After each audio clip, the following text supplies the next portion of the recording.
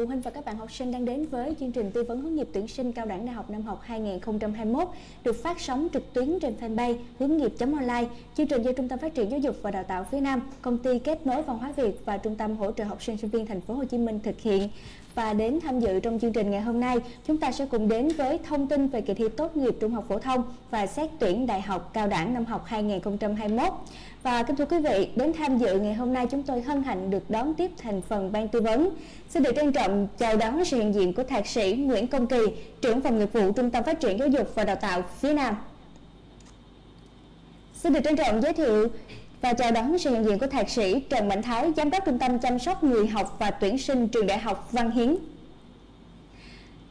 Kính thưa quý vị phụ huynh và các bạn học sinh thân mến, trong uh, buổi livestream ngày hôm nay thì ngay bây giờ quý vị có thể uh, đặt câu hỏi của mình ở phía bên dưới phần bình luận cũng như là chia sẻ livestream để bạn bè của mình cũng có thể cùng theo dõi và cập nhật những thông tin mới nhất. Và ngay bây giờ thì uh, Xuân An xin được uh, kính mời thầy Kỳ À, thưa thầy thì vừa rồi là Bộ Giáo dục đã và Đào tạo đã công bố về quy chế kỳ thi tốt nghiệp trung học phổ thông năm học 2021 thì xin mời thầy có thể thông tin đến quý vị phụ huynh và các bạn học sinh ạ. À, xin kính chào à, quý phụ huynh, à, kính chào các em học sinh thân mến. Thì à, chúng ta biết rằng là ngày 12 tháng 3 à, vừa rồi Bộ dục đã công bố cái thông tư 05 à, về sửa đổi bổ sung một số cái điều à, của quy chế thi tốt nghiệp trung học phổ thông à, năm 2021 và có cái hướng dẫn à, 1318 của Bộ dục Tạo vào ngày 5 tháng 4 à, năm 2021. À, trên tinh thần thì quy, quy chế kỳ thi trung học phổ thông năm 2021 thì giữ nguyên như năm 2020 chúng ta vẫn có cái môn thi à, bắt buộc đó là môn toán, à, môn văn, à, ngoại ngữ và hai cái tổ hợp môn là khoa học tự nhiên và khoa học xã hội. Còn đối với học sinh à, khối giáo thường xuyên thì chúng ta có thi môn toán, môn văn và chọn à, một trong hai tổ hợp môn là khoa học tự nhiên hoặc là khoa học xã hội. Thì chúng ta à, có các cái môn thi như vậy và thời gian à, đăng ký dự thi thì cục bộ đã có cái công bố là đăng ký dự thi từ ngày 27 tháng 4 cho đến ngày 11 tháng 5 và cái thời gian à, thi sẽ là ngày 17 mùng 8 tháng 7 2021 cái môn ngữ văn thì thi 182 phút bằng cái phương pháp là tự uh, tự luận. Còn môn toán là thi trong 90 phút bằng hình thức là trắc nghiệm. Còn các cái tổ hợp môn thì mỗi môn trong tổ hợp môn là thi 50 phút và cách nhau là 10 phút. Còn đối với cái môn học ngoại ngữ thì thi bằng hình thức trắc nghiệm và có thời gian thi là 60 phút. Và kết quả uh, thi sẽ công bố vào ngày 26 tháng 7 2021 thì à, trên cơ sở là Bộ Giáo dục đã công bố cái hướng dẫn, trong đó có cái à, phiếu à, ghi thông tin của kỳ thi. Thì các bạn biết rằng là năm nay thì cái phiếu đăng ký thông tin kỳ thi nó sẽ liên quan nhiều đến vấn đề xét tuyển, và đặc biệt là liên quan xét tuyển trực tuyến của học sinh. Do đó các em phải đăng ký một cách cẩn thận, rõ ràng các thông tin về chi tiết và có kiểm tra lại. Đặc biệt khi các thầy cô đã cấp cho các em với mã tài khoản à, ừ, thì các em phải chỉnh sửa đổi mật khẩu và à, vào kiểm tra thông tin. Nếu các bạn trong cái thời gian có thể chỉnh sửa được các thông tin đó thì các em chỉnh sửa liền. Còn các cái nội dung nào mà sai à, thì mà không thể chỉnh sửa trực tiếp được thì đề nghị các thầy cô ở cái điểm tiếp nhận là trường phổ thông là chỉnh sửa cho các em. Và đặc biệt là một cái lưu ý đó là cái địa chỉ email và cái số điện thoại thì các em phải ghi thật là là cẩn thận chính xác và thường xuyên vào hai cái cái điện thoại số điện thoại của mình đã cung cấp và email để nhận cái tài khoản cũng như là kiểm tra các thông tin thường xuyên à, cảm ơn các em Xin được cảm ơn thầy Kỳ với uh, các thông tin vừa rồi và um, thưa thầy Thái thì với uh, ở đơn vị là trường của mình thì uh, mời thầy có thể thông tin đến các bạn về thông tin tuyển sinh của mình năm nay cũng như là các phương thức xét tuyển uh, đại học thì có khác gì so với năm học vừa rồi hay không ạ? À? Xin được thay mặt cho trường Đại học Văn Hiến kính gửi lời chào đến toàn thể quý vị phụ huynh, quý vị khán giả và các bạn thí sinh đang theo dõi chương trình. Về phương thức tuyển sinh của trường Đại học Văn Hiến năm nay cơ bản thì cũng giữ nguyên so với năm 2020. Tuy nhiên có một số điểm thay đổi đáng lưu ý để quý vị phụ huynh cũng như các em thí sinh khi quan tâm đến các ngành học của trường Đại học Văn Hiến cũng cần phải có các cái uh, quan tâm như sau. Thứ nhất là về các cái phương thức xét tuyển đó thì nhà trường vẫn giữ là năm phương thức. Thứ nhất à, xét tuyển bằng kết quả học bạ à, thì năm nay nhà trường bổ sung thêm một hình thức đó là sử dụng điểm bình quân của học kỳ 1, học kỳ 2 lớp 10 cộng với điểm bình quân học kỳ 1, học kỳ 2 lớp 11 và điểm bình quân học kỳ 1 lớp 12. Và đấy là thêm một hình thức nữa song song với ba hình thức đã có sẵn đó là sử dụng điểm của lớp 11 cùng với lớp 12 à, cũng như là điểm của hai học kỳ lớp 12 và điểm trung bình lớp 12. À, ờ, đối với phương thức thứ hai đó là xét tuyển bằng kết quả của kỳ thi tốt nghiệp trung học phổ thông thì vẫn giữ nguyên như năm ngoái.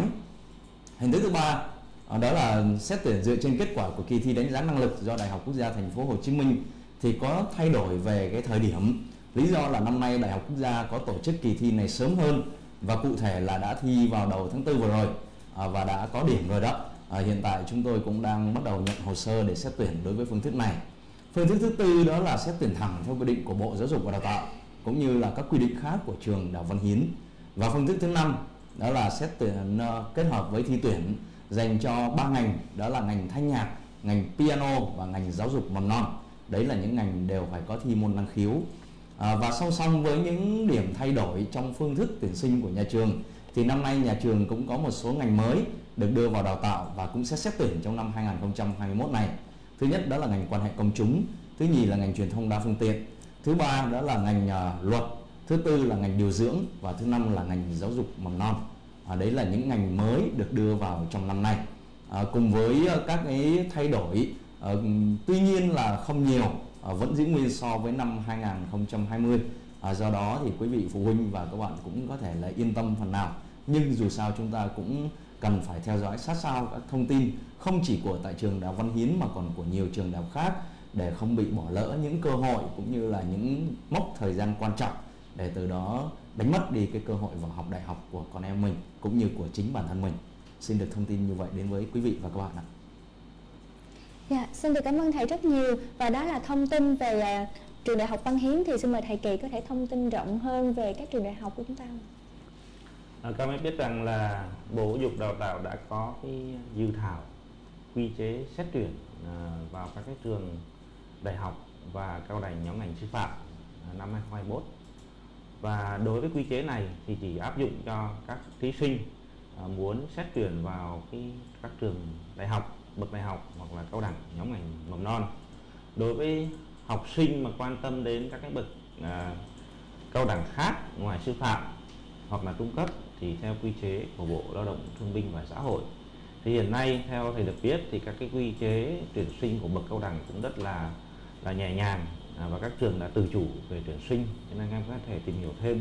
các thông tin trên hệ thống à, website của các trường cao đẳng. Còn đối với à, các trường đại học và cao đẳng nhóm ngành mầm non, thì ngoài những cái phương thức mà cơ bản như thầy Thái có chia sẻ hồi nãy, như là phương thức xét học bạ phương thức à, à, kết quả lấy kết quả của cái đánh giá năng lực của đại quốc gia thì có khoảng 70 trường sử dụng kết quả này. Và vừa rồi thì các em đã thi xong vào ngày 28 tháng 3 và các trường đang lên phương án để xét tuyển. Rồi một phương thức nữa là phương thức xét bằng học bạ. Thì uh, hiện nay các trường cũng đã sử dụng phương thức này rất là nhiều uh, đặc biệt là các trường sử dụng bằng cái hình thức xét uh, online uh, nộp trực trực tuyến uh, trên hệ thống mạng của nhà trường và cái phương thức nữa đó là phương thức sử dụng kết hợp giữa kỳ thi ờ, năng khiếu kỳ thi đánh giá riêng của trường kết hợp với kết quả thi tốt nghiệp trung học phổ thông. Và riêng đối với cái phương thức mà sử dụng kết quả thi tốt nghiệp trung học phổ thông à, năm 2021 thì hầu như à, các trường đại học đều sử dụng phương thức này. Và năm nay thì có một số cái à, đổi mới so với quy chế năm 2020 à, đó là Ờ, tăng cường cái tính trực tuyến ờ, cho học sinh. Thì các bạn biết rằng là theo phương thức xét tuyển vào các trường đại học và cao đẳng nhóm ngành mầm non thì đăng ký cùng lúc với à, việc các em đăng ký thi tốt nghiệp trung học phổ thông tức là từ ngày 27 tháng 4 đến ngày 11 tháng 5 và đặc biệt năm nay có cái đổi mới rằng là việc xét tuyển thì trước đây chỉ có đăng ký xét tuyển trực tiếp tại cái điểm tiếp nhận tức là cả tại các trường phổ thông hoặc là trung tâm giáo dục chuyên do sở quy định. Thì năm nay có một hình thức nữa là hình thức trực tuyến. Thì đối với học sinh thì chỉ chọn à, một trong hai cái phương thức này mà thôi. À, hoặc là trực tiếp hoặc là trực tuyến. À, việc trực tuyến thì các em tự lên hệ thống à, mạng à, bằng cái tài khoản mà thầy cô ở điểm tiếp nhận đã đã cấp cho các em. Và các em tự đăng ký à, các trường các ngành cụ thể mà các em mong muốn bằng tổ hợp môn mà mình có thế mạnh để đăng ký xét tuyển. Và cái điểm mà lưu ý nữa à, về cái việc là sau khi à, ngày 26 tháng 7 là có cái kết quả thi tốt nghiệp trung học phổ thông thì các em sẽ có một cái khoảng thời gian điều chỉnh nguyện vọng. Và theo cái dự thảo mới nhất của Bộ Giáo dục Tạo thì các em được điều chỉnh nguyện vọng à, thay vì một lần như 2020 thì năm nay lên đến 3 lần và hình thức cũng được thay đổi uh, làm bằng hình thức trực tuyến. Nói như vậy để biết rằng là cái hình thức trực tuyến được đưa vào cái quy chế xét tuyển năm nay kể cả là xét tuyển ban đầu cũng như là xét tuyển và điều chỉnh nguyện vọng. Do đó cái tính mà tự chủ uh, và tự chịu trách nhiệm của các em cũng rất là lớn. Thì thầy mong rằng là khi các em có cái tài khoản uh, và thay cái mật khẩu vào cái hệ thống uh, à, thí sinh chấm à, tốt nghiệp trung học phổ thông à, chấm edu vn thì các em vào kiểm tra vào giữ cái tài khoản bên mình. Và đặc biệt khi các em mà điều chỉnh nguyện vọng à, bổ sung nguyện vọng thì cũng phải thật, thật cẩn thận lựa chọn cho mình chắc chắn để điều chỉnh à, phù hợp với năng lực học tập phù hợp với cái xu hướng mà mình mong muốn chọn vào cái ngành nào đó à, cái trường nào đó. Đặc biệt là khi các em có kết quả thi rồi thì các em sẽ điều chỉnh nguyện vọng và điều chỉnh nguyện vọng theo cái hướng là tổ hợp môn nào các em có điểm cao nhất, rồi so sánh với kết quả ờ, thi ờ, kết quả điểm chuẩn của các trường đại học ờ, các ngành các năm trước để các em chọn cho mình hay là điều chỉnh cho mình một cái nguyện vọng nó phù hợp nhất. Và nhớ rằng là mình có 3 lần và khi lưu rồi thì các em sẽ không còn chỉnh sửa lại được nữa. Nên đó là cái điểm lưu ý mà về xét tuyển còn một điểm lưu ý nữa là về khi mà các em đậu có thể là nhiều phương thức khác nhau nhiều cái uh, nguyện vọng khác nhau nhưng ờ, khi xác nhận nhập học thì các em chỉ còn có một cái phiếu thôi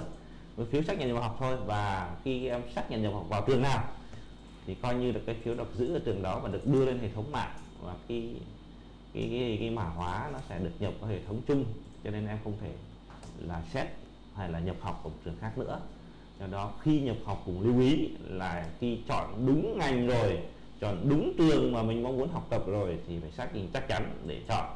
và quyết định là quyết định cuối cùng khi nộp cái phiếu báo điểm cho nhà trường. Các em. Dạ, xin được cảm ơn thầy Kỳ rất nhiều. Và hy vọng với những lưu ý vừa rồi thì quý vị phụ huynh cũng có thể uh, ghi nhớ để có thể hỗ trợ cho con em của mình. Bởi vì Xuân Lan đã gặp rất nhiều trường hợp là các bạn học sinh uh, chúng ta đăng nhập vào rồi nhưng mà lại vô tình bị thiếu thông tin hay là ghi sai thì các bạn không thể mà và đăng nhập lại hoặc là sửa lại thông tin đúng không ạ? Và đây là cái thông tin mà các bạn cần đặc biệt là cần nên lưu ý và trên phần bình luận thì Facebook của bạn Linh Đan có hỏi là phương thức xét học bạ của các ngành của trường có giống nhau không hay phải quy định theo từng nhóm ngành ạ à? dạ em xin mời thầy Thái sẽ thông tin đến các bạn À, cảm ơn bạn Linh Đan đã gửi câu hỏi đến với trường Đại học Văn Hiến nha. À, tiếp nối với thông tin ở câu hỏi trước thì tôi tiếp tục chia sẻ thông tin với bạn như sau. Về việc xét tuyển của trường Đại học Văn Hiến thì trừ 3 ngành đó là ngành piano, ngành thanh nhạc và ngành giáo dục mầm non. Thì sử dụng cái phương thức thứ năm đó là xét tuyển môn văn môn toán à, cùng với kỹ năng khiếu tùy theo cái tổ hợp môn mà các bạn chọn. Còn lại tất cả các ngành khác 28 ngành còn lại chúng ta đều xét tuyển dựa trên tổ hợp môn à, theo cái uh, lựa chọn của nhà trường à, cũng như là của cá nhân các bạn. À, hoặc là các bạn sử dụng điểm bình quân của học kỳ 1, học kỳ 2 lớp 12 và điểm bình quân của toàn thể lớp 12 để cùng xét vào là như nhau. Và việc mà các bạn đăng ký xét tuyển bằng hình thức học bạ hay là bằng uh, phương thức xét tuyển bằng kỳ thi đánh giá năng lực hay là bằng uh, thi tốt nghiệp trung học phổ thông thì đều bình đẳng như nhau.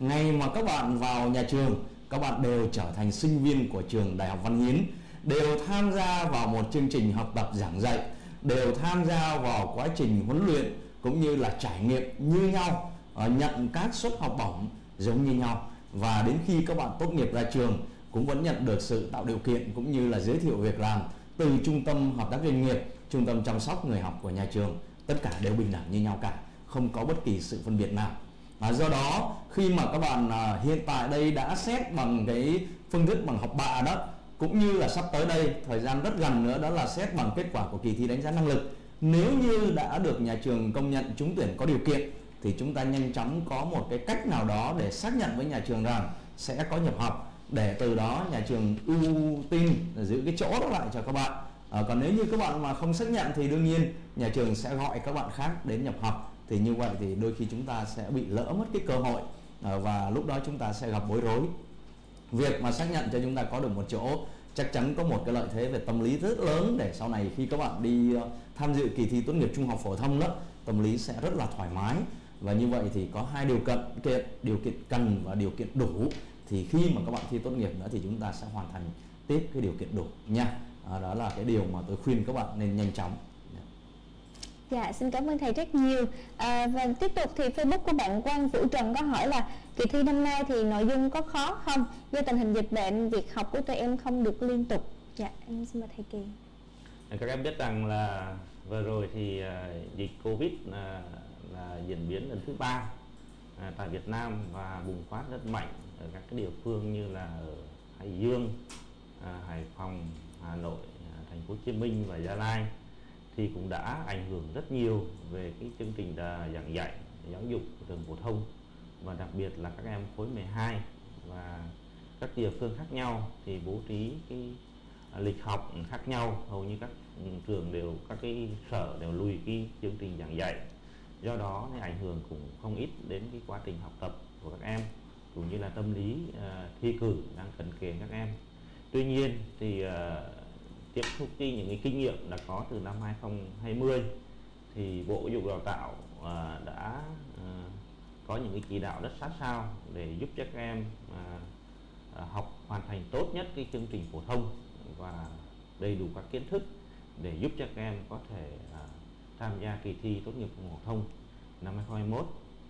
thì với cái à, đề thi năm nay thì Bộ Giáo dục Đào tạo đã à, công bố cái đề thi tham khảo trên cái website các em nên quan tâm đó là thpt quốc gia.edu.vn thì có rất nhiều cái thông tin trên này và đặc biệt là có các cái đề thi tham khảo của các môn thi à, năm 2021 và trên tinh thần cái đề thi thì mang tính chất là giảm nhẹ hơn à, về độ khó cho thí sinh.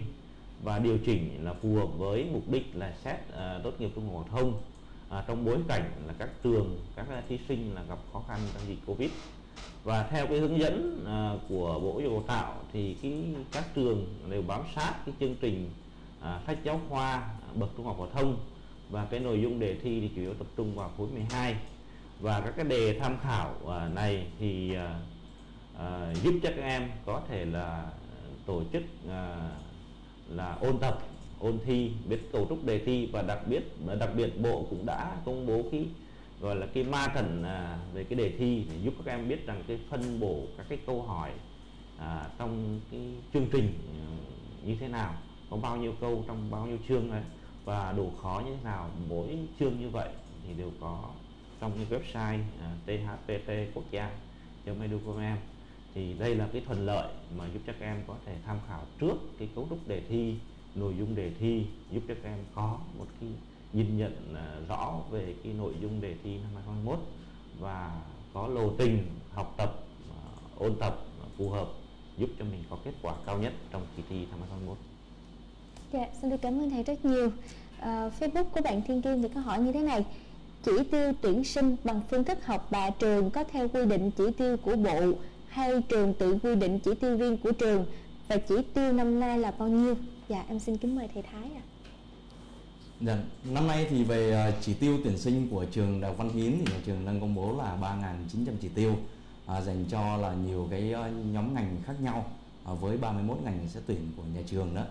Thì à, về con số cụ thể ở đây nếu như tôi có lướt qua thì chắc chắn là quý vị cũng như là các em cũng không thể nhớ được. Cho nên à, lời khuyên chân thành là quý vị và các bạn hãy đến với website của nhà trường với địa chỉ là ts.vhu.edu.vn ở đó chúng tôi sẽ công bố đầy đủ tất cả các phương án tuyển sinh cũng như là các chỉ tiêu. Và trong một uh, trường hợp khác thì chúng ta có thể liên hệ vào tổng đài 1800 1568 ở đó thì quý thầy cô sẽ luôn luôn lắng nghe uh, tiếp nhận để mà giải đáp và sẽ đưa ra cho chúng ta những lời tư vấn thật là uh, xứng đáng khi mà chúng ta liên hệ. Và ngay khi mà chúng ta tương tác qua điện thoại đó chúng ta cũng hoàn toàn có thể hoàn tất cái hồ sơ đăng ký xét tuyển của mình à, xin cảm ơn rất nhiều Dạ, xin cảm ơn thầy. Đó là về uh, riêng cái chỉ tiêu xét tuyển của trường đại học uh, Văn Hiến. Vậy thì uh, những cái chỉ tiêu chung về phía các trường đại học thì như thế nào? Em xin mời thầy Kỳ có thể thông tin đến các bạn. Thì tiếp theo cái uh, lời chia sẻ của thầy uh, Thái từ đại học Văn Hiến thì các em biết rằng là trong nhiều cái phương thức khác nhau thì có cái phương thức là xét tuyển bằng phương thức học bạ và ở đây thì à, các trường sử dụng các cái phương thức học bạ như là à, xét 5 học kỳ à, của trung học phổ thông à, hai học kỳ lớp 10, hai học kỳ lớp 11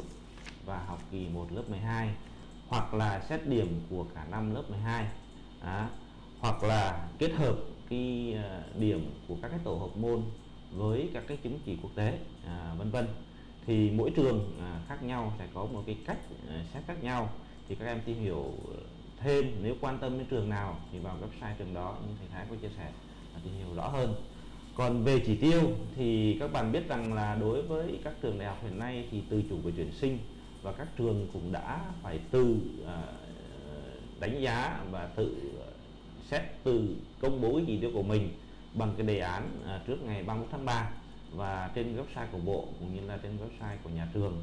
Và cái chỉ tiêu này thì phụ thuộc vào cái điều kiện cơ sở vật chất cũng như đội ngũ của nhà trường và được công bố rộng rãi trên các phương tiện thông tin chúng, đặc biệt là hai website mà thầy vừa chia sẻ. Thì đối với các phương thức, nhiều phương thức để xét tuyển vào một ngành cụ thể hay một trường cụ thể nào đó, thì tỷ trọng dành cho mỗi phương thức ờ, khác nhau là khác nhau nhưng mà thầy thấy rằng hàng năm à, từ năm à, 2019 20 đến 2021 thì cái tỷ trọng mà dành cho cái phương thức xét học bạ của các trường à, được nâng lên. Nhiều trường xét trên 50 đến 7 phần trăm thì có trường thì chỉ 2 phần trăm thôi. Thì các em biết rằng là cùng xem xét để biết rằng là các trường hiện nay à, có rất nhiều trường là xét bằng hình thức học bạ và đặc biệt nữa thì với cái điều kiện covid thế này các trường đã sử dụng cái phương thức trực tuyến để giúp các em có thể thuận lợi hơn trong việc đăng ký và xét tuyển cảm ơn Dạ, em xin cảm ơn thầy Kỳ. À, thầy ơi, thì uh, Facebook của bạn Hải á, có hỏi là uh, theo thầy cô khuyên thì em nên tham gia vào phương thức xét tuyển đại học cao đẳng. Vậy thì em nên tham gia vào phương thức nào của đại học cao đẳng là phù hợp nhất à? Thì thầy có thể gửi đến các bạn lời khuyên để các bạn có phương thức chọn đúng hơn. À, cái việc mà các cái phương thức thì mình cứ nghĩ rằng là giống như các con đường khác nhau à, đến đích đấy. và đối với trong xét tuyển đại học và cao đẳng thì giống như là các con đường khác nhau để mình mong muốn vào một cái ngành cụ thể à, vào một trường cụ thể mà mình mong muốn học tập để sau này có một cái nghề nghiệp có một hành trang vào đời thì phương thức thì cũng như sư xã chia sẻ có nhiều phương thức khác nhau. Tuy nhiên để xét phương thức nào uh, cho phù hợp thì cái đó phải tự đánh giá lại. Uh, xem uh, các trường đã công bố uh, cái phương thức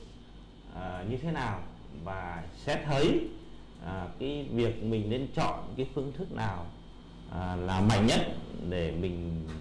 xét vào một cái ngành cụ thể một trường cụ thể. Thậm chí các em có thể sử dụng nhiều phương thức khác nhau để xét tuyển và có thể là một cái ngành đó mà có thể đậu nhiều phương thức khác nhau. Do đó thì các em, ví dụ như các em có cái điểm học bạ thấy tốt ừ, phù hợp với cái cực cực thức của trường, thì các em nộp cái bằng phương thức học bạ. Còn các em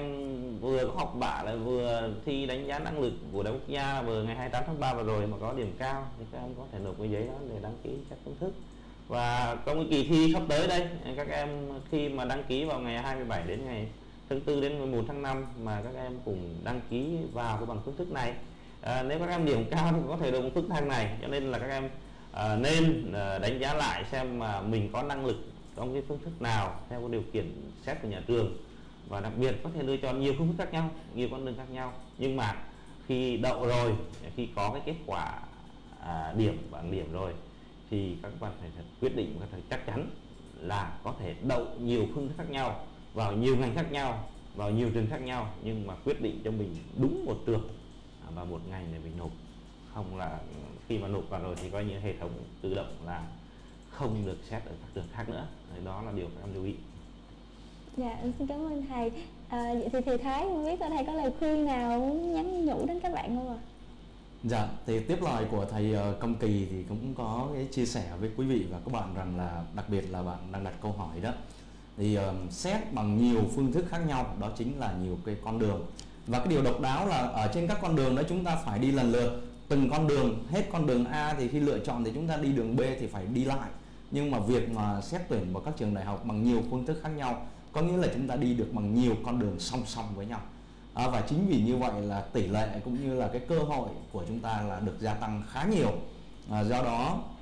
tất cả những phương thức đó tất cả những cái điều kiện đó đều là ở các trường đại học tạo điều kiện cho thí sinh của chúng ta có được một sự yên tâm rằng các em có thể có một chỗ đại học à, trước khi chúng ta tham dự vào cái kỳ thi tốt nghiệp. Để từ đó cởi mở cái tâm lý của mình à, không quá bị áp lực để rồi uh, tránh có những cái kết quả không như mong muốn ở cái kỳ thi đó. Nên thì mong là chúng ta hãy tận dụng những cái điều kiện mà bộ giáo dục đã uh, xây dựng ra cũng như là các trường đã rất là dày công để mà xây dựng nên thì chúng ta nên sử dụng nó một cách cho thật là hữu ích cho bản thân mình Dạ, em xin Dạ. cảm ơn thầy Thái rất Dạ. nhiều. À, Facebook của bạn Việt Nguyễn có hỏi như thế này. Em thấy có nhiều phương thức xét tuyển đại học. Vậy cho em hỏi sau này chương trình đào tạo có giống nhau không? Dạ, em xin mời thầy Kỳ có thể thông tin đến các bạn. À, các em biết rằng là như à, thầy Thái cũng đã chia sẻ bằng các cái con đường khác nhau, phương thức khác nhau để vào một cái ngành cụ thể vào một cái trường mà mình mong muốn. Thì các bạn biết rằng là các trường xác định chỉ tiêu và sử dụng các cái phương thức khác nhau để tuyển sinh à, vào cái ngành đó à, cái hệ đó. Nhưng mà khi các em đậu vào mặc dù bằng phương thức nào đi nữa à, cách thức nào đi nữa thì khi vào cùng một cái chương trình đào tạo cùng một cái hệ thì các em được học với nhau cùng thu hưởng các cái dịch vụ đào tạo như nhau. À, như là về ờ, nội dung chương trình như là giáo trình như là các tài liệu học tập như là cái việc giảng dạy của thầy cô như là điều kiện cơ sở vật chất của nhà trường và các cái dịch vụ phục vụ đào tạo khác dành cho các em. Do đó các em yên tâm mặc dù các phương thức khác nhau nhưng mà khi đậu vào một chương trình cụ thể à, một cái ngành cụ thể thì các em sẽ được hưởng thụ các cái chương trình đào tạo của trường à, cung ứng cái dịch vụ đào tạo là như nhau À, dạ em cảm ơn thầy. À, có một bạn đang hỏi là ờ, em quan tâm vào ngành ngôn ngữ Pháp nhưng ở phổ thông em lại không học tiếng Pháp. Vậy em có thể tham gia xét tuyển ở ngành này không? À, dạ em xin được mời thầy Thái sẽ trả lời cho bạn. Rồi cảm ơn câu ờ, hỏi của em cũng như là một cái sự quan tâm rất là cụ thể đối với ngành ngôn ngữ Pháp và cũng xin được thông tin chung rằng là không riêng gì với ngành ngôn ngữ Pháp đâu nhiều bạn khác quan tâm đến các ngành ngôn ngữ khác ví dụ như là ngôn ngữ Anh, ngôn ngữ Nhật, ngôn ngữ Hàn, ngôn ngữ Trung Quốc và nhiều các ngôn ngữ hiếm khác như là ngôn ngữ Đức, ngôn ngữ Italia, ngôn ngữ Tây Ban Nha đều có một cái quan tâm chung là như vậy tức là khi mà mình học trung học phổ thông thì mình chưa từng được tiếp xúc nhiều với ngôn ngữ đó à, mặc dù mình cũng có một cái sự quan tâm cũng như là có một cái sự biết đến nó nhưng không có thời gian cũng như là chưa có điều kiện để tiếp xúc nhiều. À, vậy thì có thể vào học đại học được không? Xin thưa hoàn toàn có thể vào. Bởi vì khi chúng ta xét tuyển vào bằng các phương thức như là từ đầu chương trình đến giờ chúng tôi đã nêu đó thì ờ, những điều đó không đòi hỏi chúng ta phải có một cái ngoại ngữ ban đầu. À, mà ngoại ngữ ban đầu khi vào nếu như có thì là một lợi thế cho cá nhân bạn. À, vì đấy là một cái năng khiếu à, là một cái xuất phát điểm để chúng ta có thể à, xuất phát sớm hơn một xíu nhưng về cơ bản khi đã vào trong trường đại học tham gia vào chương trình đào tạo thì các bạn sẽ được tham gia học tập các cái môn như nhau. À, các bạn sẽ được học chuyên sâu về bốn kỹ năng nghe nói đọc viết của ngôn ngữ pháp. Hoặc là bạn nào học về ngôn ngữ nhật thì à, học chuyên sâu về nghe nói đọc viết của ngôn ngữ nhật. Rồi ngôn ngữ hàn ngôn ngữ trung cũng đều như vậy. À, nó có một cái sự tương đồng như thế. À, và đến khi mà các bạn tốt nghiệp ra trường thì lúc này mới đòi hỏi các bạn cần phải đạt được một cái trình độ nhất định được gọi là chuẩn đầu ra. À, và thường thì đối với ngôn ngữ pháp thì có một cái chuẩn đầu ra quy định đối với ngành này. Cũng như là các bạn phải có được một cái ngoại ngữ thứ hai. Chẳng hạn như là ngoài tiếng Pháp thì các bạn phải có thêm tiếng Anh hoặc là tiếng Nhật, tiếng Hàn à, và các ngành ngôn ngữ khác cũng đều là như vậy.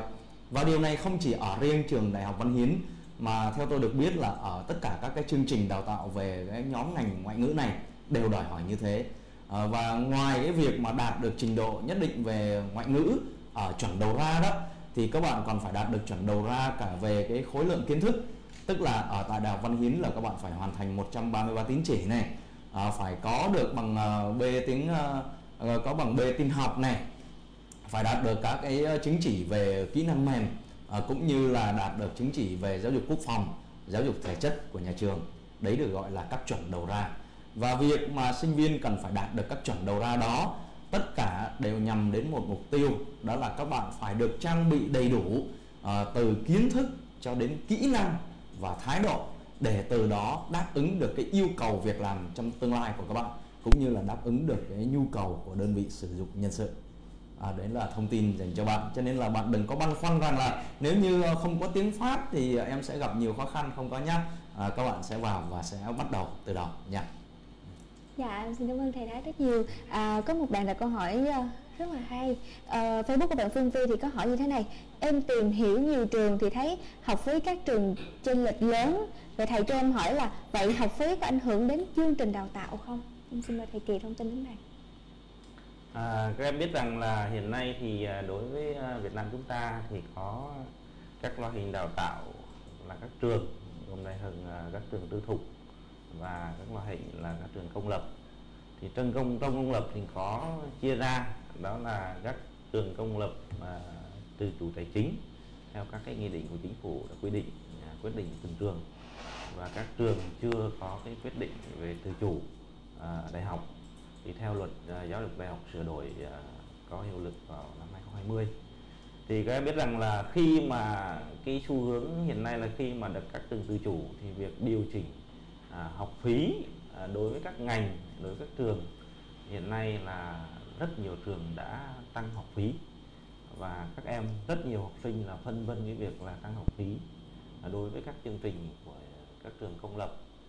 thì tuy nhiên thì với cái tinh thần tự chủ của luật giáo dục à, đại học như vậy thì à, có các trường là sự tranh lệch về học phí à, kể cả trường tư thục kể cả trường công lập và kể cả trường công lập mà có tự chủ à, đại học. Thì à, trên tinh thần là mong muốn là à, cung cấp cái dịch vụ tốt nhất cho các em sinh viên để tạo một cái nguồn nhân lực tốt à, sau khi ra trường đáp ứng các cái tiêu chí à, các cái điều kiện mà nguồn nhân lực của quốc tế à, phục vụ cho Việt Nam nói riêng và các cái nguồn lao động có thể di chuyển à, làm việc ở trên toàn cầu và đặc biệt là các cái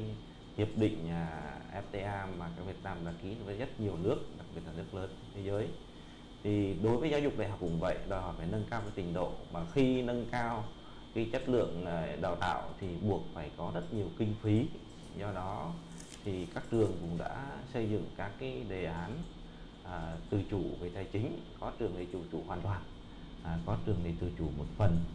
Do đó thì cái học phí cũng được à, nâng lên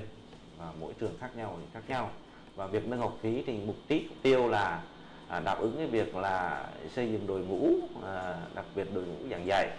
rồi xây dựng à, các cái cơ sở vật chất à, trang thiết bị à, giáo trình phương tiện đặc biệt là cái việc chuyển đổi số hiện nay trong trường đại học để đáp ứng được cái việc đào tạo và dịch vụ phục vụ đào tạo nhằm tạo ra một cái chuẩn đầu ra cao hơn đối với sinh viên và cuối cùng là giúp cho các em học sinh à, à, sinh viên là ra trường có một cái hành trang là chuẩn về kiến thức à, nâng cao được kỹ năng và một có một cái thái độ là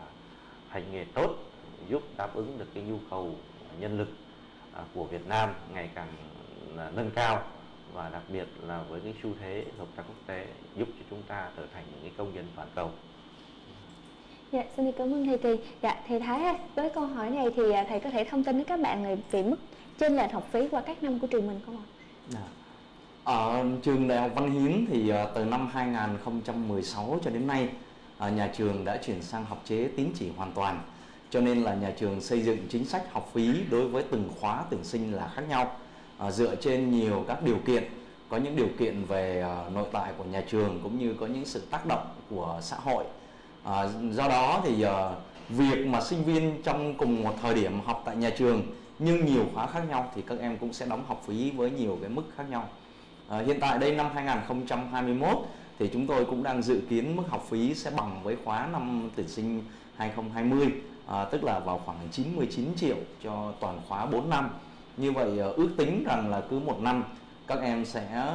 đóng học phí khoảng từ 22 cho đến 25 triệu.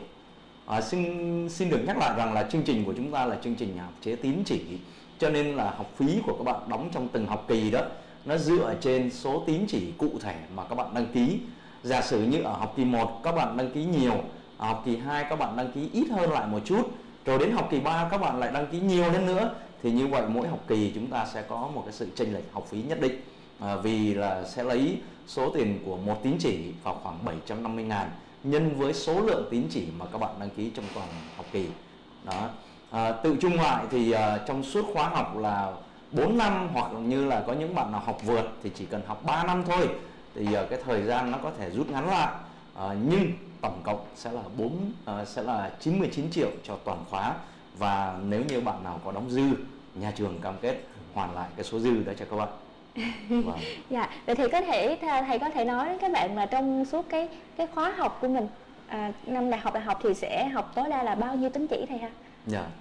ở chương trình đại học của trường à, Văn Hiến thì hiện tại à, tất cả các ngành các bạn đều đang học với số tín chỉ tổng cộng là 133 tín chỉ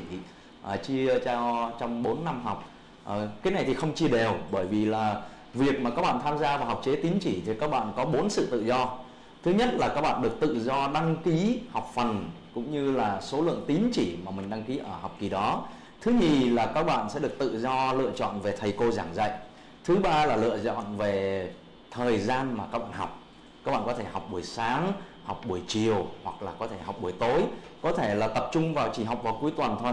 điều đó là dựa trên việc đăng ký cái học phần của các bạn. Và cái tự do cuối cùng đó là các bạn được tự do lựa chọn địa điểm mà các bạn học tập. Hiện tại đây nhà trường có rất nhiều các cơ sở nằm ở trong thành phố Hồ Chí Minh. À, mục đích đó chính là để tạo điều kiện thuận lợi để bất kỳ sinh viên ở địa điểm nào của thành phố cũng có thể tham gia học tập ở tại một trong các cơ sở của nhà trường. À, và chính vì như vậy thì cái à, chương trình rất là linh hoạt linh hoạt để cho các bạn tham gia cũng như linh hoạt về cái học phí của chúng ta và thêm một cái yếu tố nữa đó là ngay kể cả với cái mức học phí mà theo đánh giá của ờ, nhiều thầy cô ờ, rằng là cũng có một cái sự là không cao lắm đấy. Nhưng đôi khi cũng vì cái tác động của covid thì chắc chắn là cũng có nhiều bạn vẫn gặp khó khăn. Thì nhà trường còn có thêm các gói ờ, hỗ trợ khác. Ví dụ như là các hình thức học bổng mà trong đó có hình thức học bổng chắc cánh ước mơ. À, nếu như các bạn thực hiện được một cái buổi phỏng vấn tốt trước hội đồng học bổng của nhà trường thì hoàn toàn có thể nhận được miễn phí toàn bộ cái khóa học đó với ước tính là tới khoảng 120 triệu à, thế thì đấy là thông tin thêm với các bạn để các bạn có thêm cái động lực cũng như là mạnh dạn và lựa chọn cho mình một cái trường đại học Dạ, xin được cảm ơn thầy rất nhiều. À, tiếp theo thì Facebook của bạn Quốc Anh có hỏi là uh, chương trình đại trà và chương trình chất lượng cao giống nhau và khác nhau như thế nào? Và chương trình đào tạo ở các trường có khác nhau không? Học chương trình nào sẽ tốt hơn? Dạ, với câu hỏi này xin mời thầy Kỳ sẽ thông tin đến bạn với em. À, các bạn à, biết rằng là chúng ta có hai loại hình à, đào tạo, loại hình đào đại học tư thục và đại học công lập thì đối với các cái trường tư thục thì thường hay chia ra các cái loại à, cái hệ đào tạo khác nhau trong đại học là hệ tiêu chuẩn và hệ đặc biệt thì đối với các cái trường mà trường công lập thì à, theo quy định của bộ giáo dục đào thì các trường cũng có các cái hệ khác nhau. À, hệ như là hệ đại trà hệ chất lượng cao à, hệ à, kỹ sư tài năng à, hệ liên kết quốc tế. À, tuy nhiên để phân biệt cái à, chương trình giữa hệ đại trà và hệ chất lượng cao thì thầy xin một số thông tin như sau về cái sự giống và khác nhau về giống nhau giữa hệ đại trà hay chất lượng cao thì các em biết rằng là về cái khung chương trình à, theo quy định của bộ giáo dục tạo thì giống nhau. Về kiến thức à, đầy cương, về kiến thức à, thường xuyên, về kiến thức cơ sở và kiến thức chuyên ngành. Còn khi mà các em đã tốt nghiệp, đáp ứng ra các cái tiêu chí chuẩn đầu ra và các em ra trường thì cũng được cấp các cái bằng là như nhau và cái điểm mà khác biệt cơ bản giữa hai chương trình này à, trong cái quá trình đào tạo của các trường công lập thì đối bằng một cái số nội dung là tiêu chí như sau. Thứ nhất đó là về cái cơ sở vật chất. Thì đối với chương trình à, chất lượng cao thì các trường bố trí những khu vực những phòng học à, à, phù hợp có điều kiện tốt hơn như là phòng học có trang thiết bị à, như máy điều hòa phòng ốc bàn ghế hoặc là những cái việc à, cung cấp dịch vụ đào tạo à, như là sử dụng giáo trình điện tử à, khu vực phục vụ giúp các em có thể là chăm sóc em tốt hơn trong quá trình đăng ký học phần trong quá trình là học tập ký túc xá chẳng hạn. Và cái điểm nữa về sự khác nhau ở đây là đối với chương trình chất lượng cao thì các trường à, bố trí à, các cái đội ngũ à, giảng viên đáp ứng các cái tiêu chí để giúp cho các em có thể nâng cao được cái cái năng lực học tập cũng như năng lực giảng dạy của thầy cô nó phù hợp hơn. Và cái điểm nữa trong này là về chương trình đào tạo để quy định à, đối với chất lượng cao là ít nhất là phải 20 phần trăm. À, kiến thức và đặc biệt cái chuyên ngành đấy là học bằng cái tiếng Anh. Và có nhiều trường thì hiện nay cũng đã đào tạo full 100 bằng trăm bằng tiếng Anh chứ không không đào tạo bằng à, đặc biệt là cái cái nội dung về cái cơ sở ngành và chuyên ngành thì đào tạo hoàn toàn bằng tiếng Anh. Và một cái điểm lưu ý nữa đó là cái chỉ số. Chỉ số trong cái lớp của chất lượng cao thì à, thường là ít hơn à, rất là nhiều đối với cái, các cái lớp đại trà. Và khi mà với các cái điều kiện như vậy thì chắc chắn rằng là đối với hệ chất lượng cao thì học phí à, so với hệ trà phải là cao hơn. Thì đối với các trường khác nhau thì mức học phí cũng khác nhau. Nó dao động từ trên 25 triệu đến uh, uh, 40 triệu là trong cái hệ chất lượng cao của các cái trường đại học công lập hiện nay mà đặc biệt các cái trường công lập mà có các cái quyết định về tự chủ đại học. Dạ, xin được cảm ơn thầy rất nhiều. À, à, tiếp theo thì Facebook của bạn Hữu Thiện hỏi như thế này học trường đại học tư thục khi ra trường cơ hội việc làm có cạnh tranh với các trường đại học công không và thầy cô cho em lời khuyên ạ à. về câu này thì à, em xin mời thầy Thái sẽ thông tin trước cho các bạn về uh, cái thông tin của trường mình. À, vâng. À, cảm ơn bạn uh, Thiện đã gửi câu hỏi. Điều đó chứng tỏ là em rất là có một cái quan tâm về tương lai của chính bản thân mình. À, hiện tại đây thì uh, như thầy Công Kỳ cũng đã có chia sẻ đó là chúng ta có một số loại hình trường đại học đại học công rồi đại học công lập tự chủ đại học tư thục. Việc mà các bạn tham gia học ở các trường đại học đó thì là có một cái sự công bằng như nhau à, tuy nhiên là khi mà chúng ta học đó và tốt nghiệp ra trường à, trong một cái sự cạnh tranh về việc làm à, để có thể đáp ứng được cái yêu cầu của đơn vị sử dụng nhân sự thì chắc chắn là sinh viên của các trường đều phải có một sự ganh đua nhất định. À, việc ganh đua đó được thể hiện qua thái độ học tập của các bạn này thể hiện qua cái quá trình phấn đấu của các bạn ở dưới mái trường đại học nào bất kỳ đặc biệt là việc tham gia vào các hoạt động đoàn hội đội nhóm để từ đó gia tăng cái tính trải nghiệm của các bạn và mở rộng các mối quan hệ xã hội. Thì điều đó rất là bắt buộc. À, thông tin với các bạn rằng là mỗi một ngành học thì đều có cái nhu cầu uh, sử dụng nhân sự rất là nhiều. Hàng năm ở vào lễ tốt nghiệp của các trường đại học uh, cụ thể là trường đại học văn hiến chẳng hạn có tới hàng ngàn đầu việc được gửi đến cho các bạn uh, tân sinh viên uh, xin lỗi tân cử nhân tân kỹ sư. Nhưng mà số lượng mà những bạn mà có việc làm cũng như là đáp ứng được cái yêu cầu của các nhân sự, của các doanh nghiệp đó mà có cái, gọi là, không đáp ứng được cũng vẫn còn nhiều lắm. Bởi vì trong quá trình học tập các bạn còn chảnh mảng này, vẫn còn xem thường những cái lời dặn dò, những cái lời giảng dạy của thầy cô. Và đặc biệt là là trong cái quá trình tham gia thực tập thực tế ở các doanh nghiệp đó,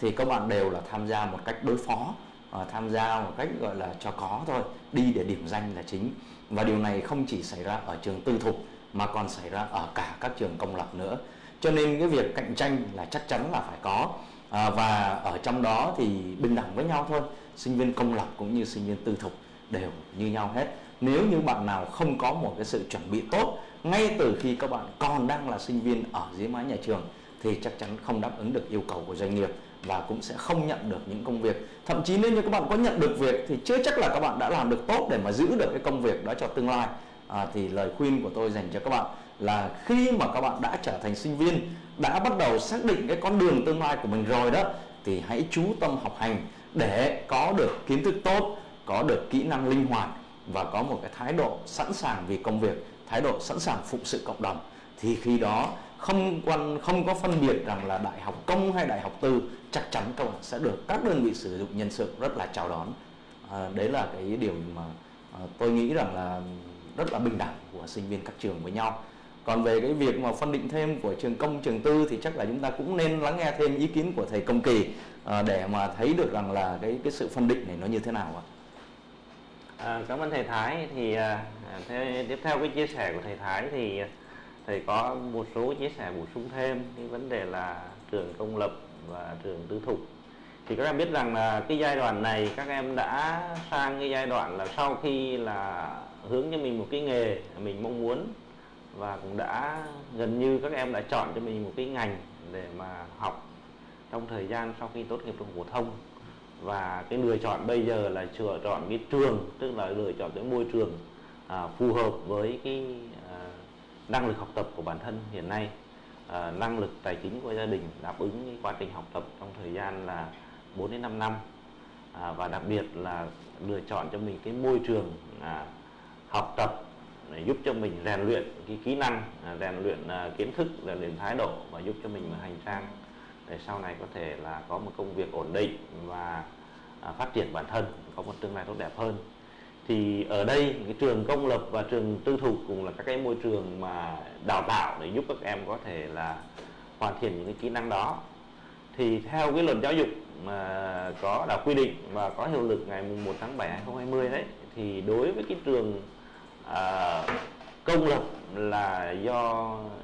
nhà nước sở hữu và chịu trách nhiệm à, đầu tư và hoạt động. Còn đối với cái loại hình trường tư thục thì do các cái cá nhân và tổ chức là sở hữu và à, chịu trách nhiệm à, hoạt động về các trường à, tư thục này. Và các trường này cũng là bình đẳng như nhau các pháp luật. À, thầy muốn nhấn mạnh là các trường đại học à, công lập và trường tư thục là bình đẳng với nhau không đó là luật quy định. Và khi mà bình đẳng như nhau thì họ cùng chịu trách nhiệm ờ, trước ờ, nhà nước ờ, trước pháp luật, trước xã hội, trước người dân à, và đặc biệt là chịu trách nhiệm trước người học là như nhau. Chịu trách nhiệm về các chương trình đào tạo theo quy định của bộ giáo dục đào tạo, các cái thông tư, quyết định, nghị định. Rồi chịu trách nhiệm các cái quy định về chuẩn đầu ra à, của các trường. Cái khác nhau ở đây thì mỗi trường thì đều có một cái thương hiệu riêng và mong muốn một triết lý xây dựng trường đại học của mình riêng và mong muốn à, cái tiêu chí sinh viên của mình ra có những cái kiến thức kỹ năng gì để giúp các em có thể ra để có việc làm. Và đặc biệt có một cái tiêu chí trong ba không mà ba ba công bố ba không hai đó là là tiêu chí sinh viên có việc làm à, sau khi ra trường. Thì đó là để các em chọn cho mình một trường phù hợp thì thầy nghĩ các em nên đánh giá trên cơ sở là phù hợp không với cái năng lực học tập của mình lựa chọn phù hợp không với điều kiện tài chính của mình à, phù hợp không với cái môi trường mà mình mong muốn học tập và phù hợp không với là những cái cái nội dung mà mình mong muốn thu hưởng được trong quá trình là đào tạo và xét các trường trên các khía cạnh như cơ sở vật chất đội ngũ rồi à, tỷ lệ sinh viên ra trường như thương hiệu của trường để cho em chọn cho mình một cái trường nó phù hợp nhất với bản thân. Cảm ơn.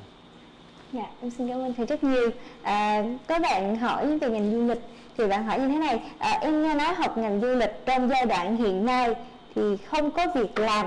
thầy cô suy nghĩ như thế nào ạ? À? Em đang quan tâm ngành này nhưng nghe nói vậy em cũng phân vân quá. Em xin được kính mời thầy Thái sẽ thông tin đến cho bạn.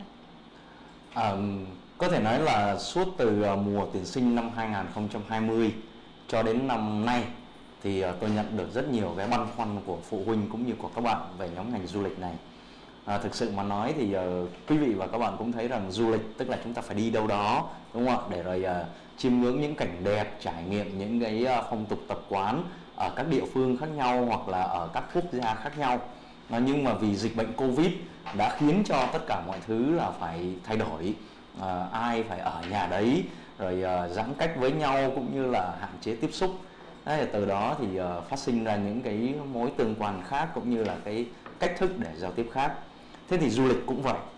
Hiện tại đây nhiều trường đại học đã đưa vào những cái ờ, môn học ở trong ngành du lịch của mình, đặc biệt là những môn mang tính chất là kỹ thuật cao, kỹ thuật số để đáp ứng được cái yêu cầu. Dù gì thì người ờ, dân vẫn có nhu cầu được chiêm ngắm những cảnh đẹp, được trải nghiệm trong những cái thực tế về văn hóa, về phong tục tập quán. Thế thì những người làm du lịch đã bắt đầu có những cái phương thức khác nhau để truyền tải những điều đó đến với du khách, mặc dù họ vẫn ở tại gia đình của họ chứ họ chưa có đi. Đấy là điều thứ nhất. Thứ nhì nữa là trong lĩnh vực du lịch nó, nó có hai cái ngành lớn. Thứ nhất là phục vụ về việc lữ hành tức là tổ chức đưa đón để di chuyển và thứ nhì là phục vụ về lưu trú.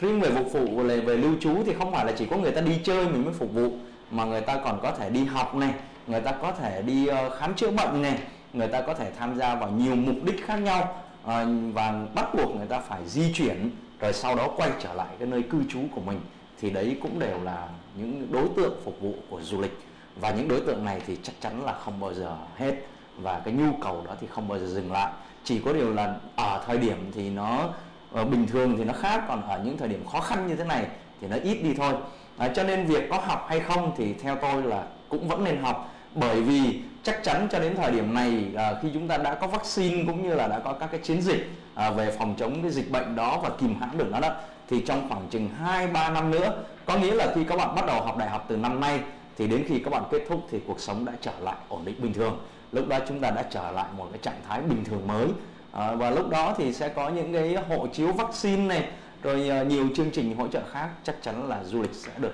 quay trở lại. À, các bạn cần phải nhớ rằng từ năm 2020 và kể cả năm 2021 này thì ngành du lịch cũng như là ngành công nghệ thông tin là hai ngành được Bộ Giáo dục và tạo khuyến khích tuyển sinh có rất nhiều các cái ưu đãi ở trong đó. À, đương nhiên là phải vì cái nhu cầu rất là lớn của việc sử dụng nhân sự cũng như là cái nhu cầu của xã hội nhiều như thế nào thì Bộ Giáo dục mới có cái chương trình như thế để cho chúng ta sẵn sàng đáp ứng cái yêu cầu trong tương lai. Cho nên là các bạn hãy cứ tự tin để mà tiếp cận và à, trong cái quá trình học tập thì cái khối lượng kiến thức sẽ trang bị cho các bạn đủ cả về kiến thức kỹ năng cũng như là cái cách ứng xử một cái linh hoạt để các bạn có thể gọi là thứ nhất tồn tại được trong cái bối cảnh mới à, thứ nhì khẳng định được bản thân và thứ ba là phục vụ được cho đơn vị mình à, công tác cũng như là phụng sự được cho cộng đồng. À, đấy là điều mà tôi nghĩ rằng các bạn nên thực hiện. Dạ, xin cảm ơn thầy rất nhiều và có thể thấy thì năm ngoái chúng ta vẫn có những chương trình kích cầu du lịch đúng không ạ? Năm nay thì à, đường bay thương mại hiện tại bây giờ cũng đã dần khôi phục trở lại rồi thì Xuân Lan nghĩ là về du lịch cũng sẽ nhanh chóng được phát triển trở lại thôi. À, và liên tục chương trình thì có một bạn à, đặt câu hỏi Facebook của bạn Nguyễn Ngọc Chiến có hỏi như thế này Thầy cô có thể thông tin giúp em nhóm ngành sư phạm Em nghe nói ngưỡng đảm bảo chất lượng đầu vào có đúng không ạ? À? Kính mời thầy à, em xin mời thầy kỳ sẽ thông tin cho bạn giúp em. À, thầy à, xin chia sẻ chung với các em về cái nhóm ngành sư phạm của năm 2021 thì các em biết rằng là hiện nay thì với cái chủ trương à, của nhà nước về vấn đề là tăng cường cái đội ngũ à, giáo viên và đẩy mạnh cái chất lượng đội ngũ giáo viên trong giai đoạn tới thì do đó bộ giáo dục đào tạo đã có những cái quy định à, những cái giả soát về vấn đề là đào tạo giáo viên và đặc biệt là có cái nghị định của chính phủ liên quan đến hỗ trợ cho giáo viên à, và đào tạo giáo viên trong thời gian tới. Thì à, đối với hỗ trợ của chính phủ chúng mình biết rằng là đối với ngành đào tạo sư phạm thì theo luật quy định hiện nay là các à, thầy cô à, ra hành nghề đi dạy đấy từ tiểu học à, trở lên trung học phổ thông thì phải học à, bằng từ đại học đại học sư phạm. À, chính quy. Và riêng đối với khối mầm non thì à, ở cái bậc là cao đẳng sư phạm trở lên. À, còn về cái chính sách đối với cái việc đào tạo à, cho sinh viên sư phạm thì hiện nay thì chính phủ rất quan tâm. Thứ nhất là về học phí các em phải nộp. Cái thứ hai là về cái hỗ trợ sinh hoạt phí cho những em thì có hiệu lực vào ngày à, 15 tháng 11 năm 2020 thì một em như vậy là hỗ trợ một tháng là 3 triệu 630 ngàn và hỗ trợ trong 10 tháng cho cái sinh viên là học sư phạm. Và chắc chắn rằng thì khi mà đã quy hoạch lại bằng lưới sư phạm đặc biệt là quy hoạch lại các cái nhân lực về sư phạm thì khi ra trường thì nhà nước sẽ bố trí uh, điều kiện tạo điều kiện tối đa để giúp các em có việc làm. Và nếu như trong 2 năm mà các em không đi làm uh, theo cái quy định chung thì các em cũng phải là đền bù lại cái số kinh phí mà nhà nước đã bỏ ra. À, cho nên là đối với việc sư phạm hiện nay thì bộ giáo dục đào tạo cũng đã có một cái việc tuyển sinh là quy định chung giống như là cái ngành y tế có ngành sức khỏe là quy định cái ngưỡng đảm bảo chất lượng đầu vào.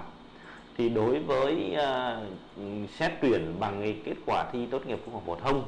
thì hàng năm sau khi có kết quả thi thì bộ giáo dục đào tạo sẽ có một cái công bố quyết định là à, xác định cái ngưỡng à, đảm bảo chất lượng đầu vào đối với khối ngành sư phạm và khối ngành y ngành sức khỏe à, để có một cái đảm bảo chất lượng à, giúp cho các em là là nộp khi điểm các em trên cái ngưỡng đảm bảo chất lượng đầu vào đó.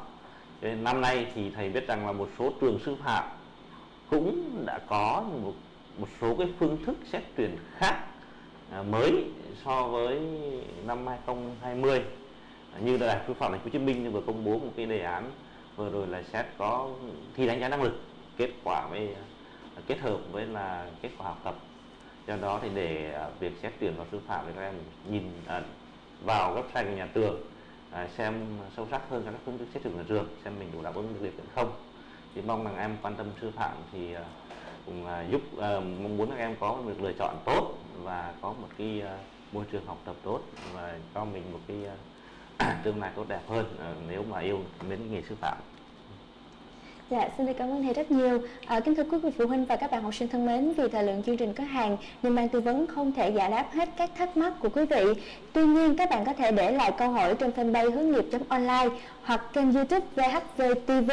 cũng như đăng ký uh, theo dõi những số phát sóng tiếp theo để có thể nhận được những thông tin bổ ích nhất. Và chương trình sẽ được phát sóng trực tiếp vào lúc 14 giờ thứ bảy hàng tuần. Và một lần nữa thay mặt cho ban tổ chức xin được cảm ơn uh, quý uh, thầy cô đã đến tham dự trong chương trình ngày hôm nay. Cũng như xin cảm ơn quý vị phụ huynh và các bạn học sinh đã dành thời gian để theo dõi chương trình. Và ngay bây giờ thì xin chào và hẹn gặp lại quý vị trong số phát sóng tiếp theo vào tuần sau vào lúc 14 giờ thứ bảy.